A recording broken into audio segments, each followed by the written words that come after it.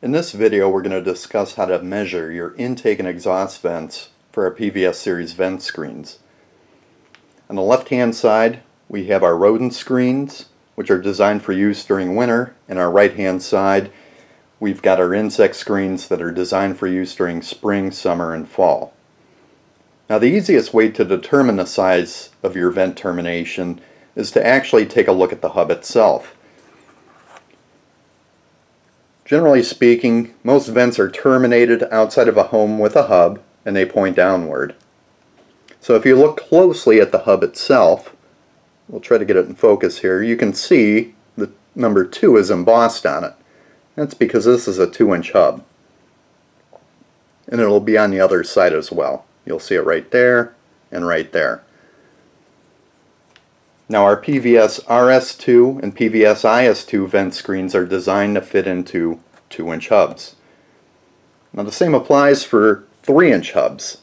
They're also marked as well. You'll see a 3, 3, and we flip it over here. We've got another 3, and another 3. So this is a 3 inch hub. So our PVS RS3 and PVS IS3 are designed to fit into 3 inch vent termination hubs. Now it's not too often that you run into applications where 4 inch vent termination hubs are used in residential applications but that is marked as well. You'll see 4 inch, 4 inch, and 4 inch. Now while we're on the topic of 4 inch, a common mistake that people make when they measure their vent termination hubs is they'll measure the outside diameter. Now if we can do that, get that in front of the camera there so you can see, well that looks like it's 4 inches. But here's the problem. PVS series vent screens are designed to fit inside the vent termination hub. Now the reason why we do that is because we don't want anything on the outside that's actually going to cover this outer portion here and potentially collect leaves and other debris that may otherwise block an intake or exhaust vent. You definitely don't want that.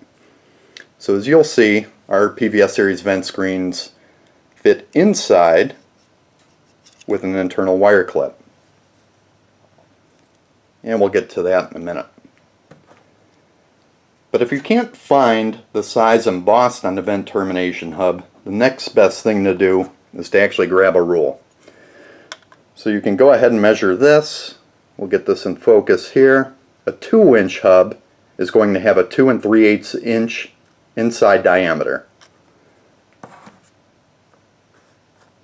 A 3 inch hub is going to have a 3.5 inch inside diameter.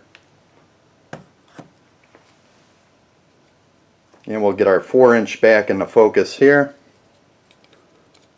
A 4 inch hub has a 4.5 inch inside diameter. Now it's most common for residential applications to use 2 and 3 inch vent terminations. On rare occasion you'll actually run into 4 inch vent terminations.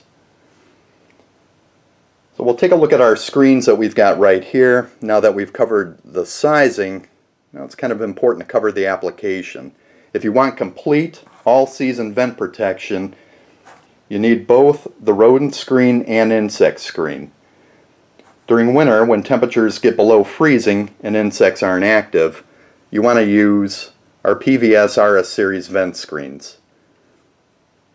These have a 90% advertised airflow rating Technically it's a 91% screen in use.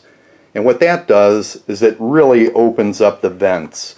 Because what happens during winter, cold air gets very dense, and dense air is difficult to pull through a screen.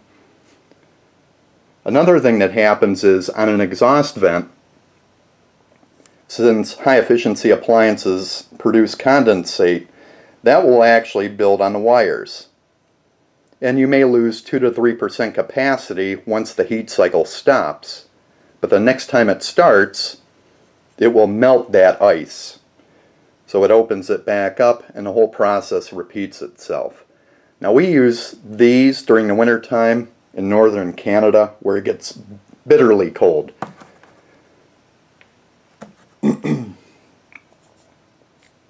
now during spring, summer, and early fall, you definitely want to use the IS series screen. And the reason for that is bees, wasps will enter an unprotected vent. They can even get, get past ordinary rodent screens. They'll actually get inside a vent and build a nest within the pipe itself or actually within the furnace cabinet. So when that happens, if it's an inactive nest, it's generally not too expensive, but large nests, they can cost in the thousands of dollars to get remedied, to have them removed and have the appliance return to service. So let's go ahead and move these out of the way. And we'll take a look at this one right here. And what I want to do is show you how easy it is to remove our internal wire clip and install it. So this is installed right now. And what you want to do is take a nail. You don't need any special tools. You don't need a drill or anything to that effect. Take your nail and then just follow the wire. Grab it at the edge and follow it to the middle and pull it towards you. And now once you have it towards you, pull it to where it's sticking straight out and then push in on the wire and then pull it right out. Now our internal wire clips may be reused indefinitely. Year after year after year, you can use them. So as you'll see, the inner flange on this that's what stops our vent screen from falling in. That's where it rests up against. So if you're putting our vent screens in for the first time, what you want to do is go to your vent terminations and make sure you wipe them out with a moist cloth to get any debris out of the way and dry them up. Once you've got the vent termination hub cleaned, then you can take the vent screen and simply put it in place. Slides right in there take your internal wire clip, take one end, put it all the way up against the housing of the vent screen, and hold it there with your thumb. Take the other end and feed it in. Real simple. Now once you've got it in place, what you want to do is expand that internal wire clip and make sure it's pressed all the way back. Very simple. That's installed. Now obviously the, the benefit of using an internal wire clip is you can switch over to the insect screen when the seasons arrive and then switch back over to the rodent screen when need be.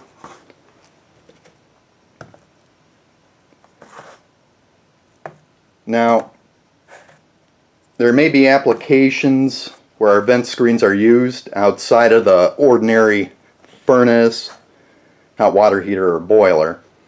And certainly in those situations, if you have any questions, we encourage you to read our frequently asked questions page. We do cover a lot of information there that links off to other pages with more detailed information. But if you encounter something specific or you still have questions, use a contact form on our website. Normally we answer questions within one business day and whatever the question may be, typically we've got an answer for it. And season seasonally, we do get a lot of questions, you know, regarding which vent screens to use, and we just want to be very clear in this video that during winter you want to use the PVS RS series vent screen, and during spring, summer, and fall you want to use the PVS IS series vent screen. It's important to use both, and they don't go in one over another. You remove it, replace it with the vent screen that you need for the season, and in our store, you'll find all season, all season vent screen kits. And that's where you get your best savings at instead of purchasing individually. So on that note, if you have any additional questions, please go ahead and contact us. You can reply to this video, uh, leave a comment there, we can answer there, or reach out to us at our website. Thank you and have a great day.